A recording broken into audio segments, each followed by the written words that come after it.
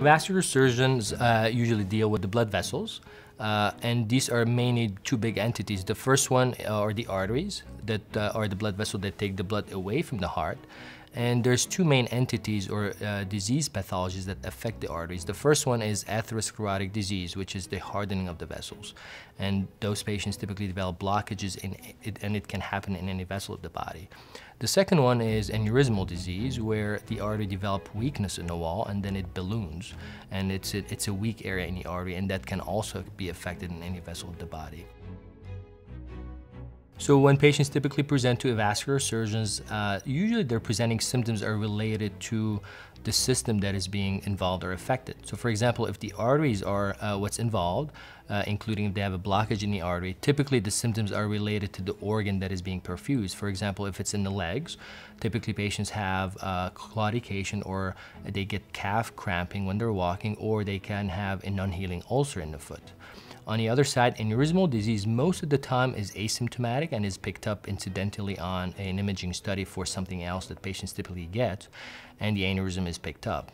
Uh, on the other side, venous disease is a little bit different. Uh, patients usually have either varicose veins uh, that cause significant pain in their lower extremities, or they can have also swelling, and on the other spectrum, they can have really significant uh, ulcerations in their lower extremities.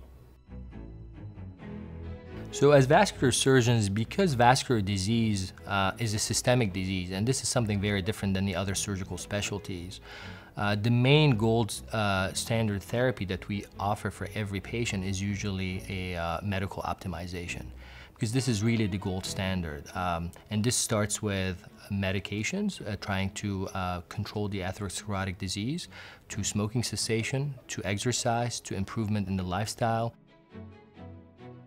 one of the uh, different things uh, between vascular surgery and the other specialties is vascular conditions are chronic.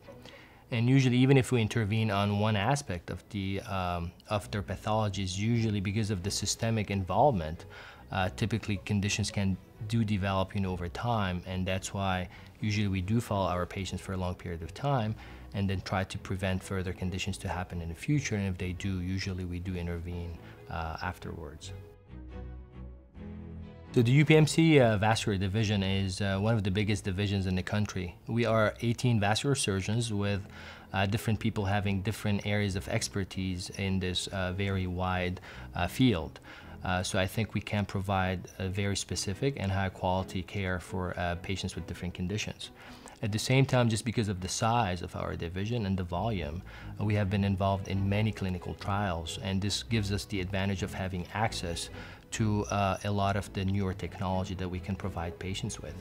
And then finally, uh, we do um, manage patients, especially the complicated cases, with a team approach where most of these cases are discussed and uh, typically we come up with the best solution for the patients.